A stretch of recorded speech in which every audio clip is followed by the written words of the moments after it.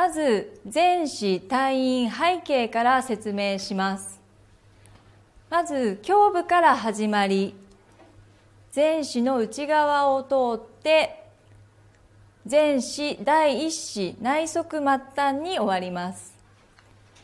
ランドマークとなるのは1番目の中腹そして肘関節の尺卓手首の関節の体円そして第一子内側の少々になります。それでは一つずつ説明していきましょう。まず最初の中府です。中府はこちらになります。肩関節を探していただいて肩関節の内側の肝黄部になります。肩関節内側内側のへこんだところに中府を取ります。ちょうどここが第一肋間にあたります。では骨格見てみます。ワンちゃんの肩関節はこの部分が肩関節になります。そして肩関節の内側内側ここにちょうどへこむ部分がありますのでそちらが中府になります。ちょうど前から見ると第一肋骨と第二肋骨の間第一肋間になります。では実際のワンちゃんではどうでしょうか？まずワンちゃんの肩関節はここです。そしてこの肩関節から内側に内側に入りますそこのちょうど肝黄部ここがワンちゃんの第一肋間にあたりますのでここを中府として取ります次に雲門です次の雲門は中府の斜めちょっと上になります。それも外側の斜め少し上です。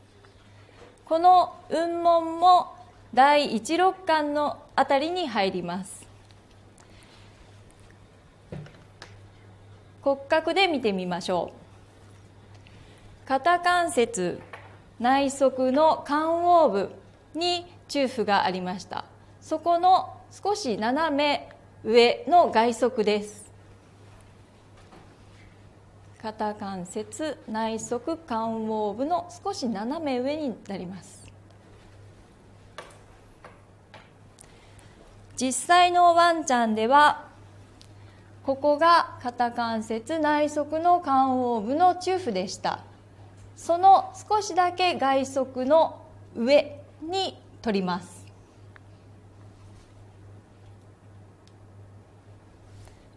ここが雲門になります。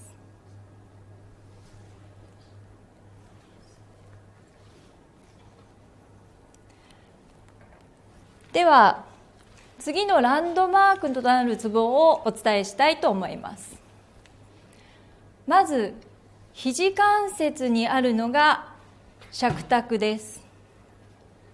そして次は手首に体円というツボを取ります。まずここの尺卓そして体円の間にはいくつかツボがありますけれどもこれは尺卓と体円を結んだラインに取りますので後ほど説明させていただきます。そして最後の終点は少々です。まず尺卓は中華屈曲線肘のちょうど曲がるラインの、えー、外側に取ります。上腕二頭筋というのがここについていますので上腕二頭筋腱という腱の外側になります。骨格標本で見てみます。先ほどの肩関節から下がってここが肘の関節になります。この肘の関節ちょうど曲がると、えー、線がつきます。そこの線のところに上腕二頭筋といって大きな筋肉が、えー、上のところからついてきて、えー、付着部がありますので上腕二頭筋腱の着卓は外側外側に取ります。ではワンちゃんで説明しましょう。ワンちゃんの肘関節肘はこちらになりますね。ここが肘です。肘のここを曲げると中華屈曲線があります。そこに上腕二頭筋というのがついていますのでこの太い筋の外側に尺卓を取りますはい尺卓です。そうしましたら次に手首の手根関節部にある体円これを説明します。体円は、えー、手根屈曲線。今度は手首が内側に曲がる手根屈曲線という線を見つけていただき手根屈曲線の内側内側に取ります。そこにちょうどへこんでいる部分がありますのでそこを体円とします。ではこちらの標本ではここが手根屈曲線になります。の裏側ですね。手首の裏側の線ここがちょうど関節が曲がった時にラインができる線になりますね。ここです。この手根屈曲線の内側の肝黄部。そこになります。ここ。手が震える。ここですね。内側の肝黄部になります。さてでは実際のワンちゃんではどうか。体円はワンちゃんの手首の関節。こちらを曲げていただくと内側にちょうどラインができます。このラインの内側内側内側こっちなので内側の部分ここに体円が取れます。体円はこちらで言うと手首の関節のちょうど内側の肝黄部ここに体円があります。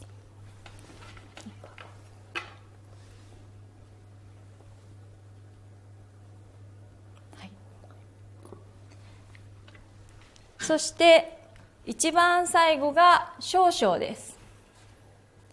少々は第一子内側の爪の付け根になります。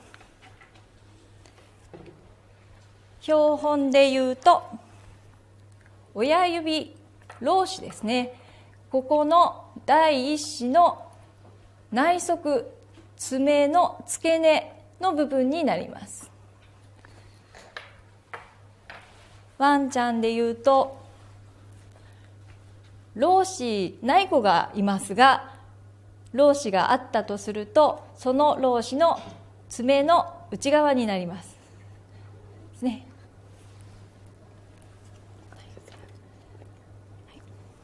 老子の爪の内側に取ります。これが全子退院背景のツボになります。そしてこのランドマークが見つかった時に次に取っていただきたいのが交際そして列血というツボになります。まず尺卓と体円を結んだライン上に下から体円から8分の1のところに列血が存在します。そして交際は体円から5分の3のところに交際が存在します。まずは先ほどの尺卓と体円を結びます。結んだライン上の下から8分の1のところに列血そして5分の3のところに交際を取ります。体円から8分の1そして体円から5分の3このライン上に2つのツボを取りましょう。では実際のワンちゃんは体円がここ。そして尺卓がここ。体円と尺卓を結びます。結びます。結んで下から8分の1のところ。